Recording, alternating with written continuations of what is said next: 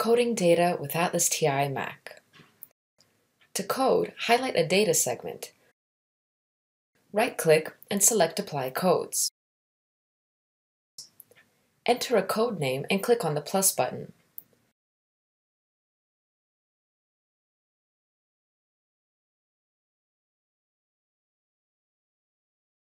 You can also enter a code definition in the comment field below.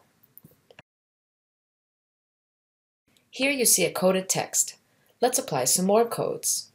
Select a quotation and double-click. Type the first letters of the code you want to add. Apply it by clicking on the plus button. You can also see all codes that you've already applied to a quotation. Open the coding dialog and click on Applied Codes. To remove a coding, click on the minus button. Drag and drop coding is still available as well.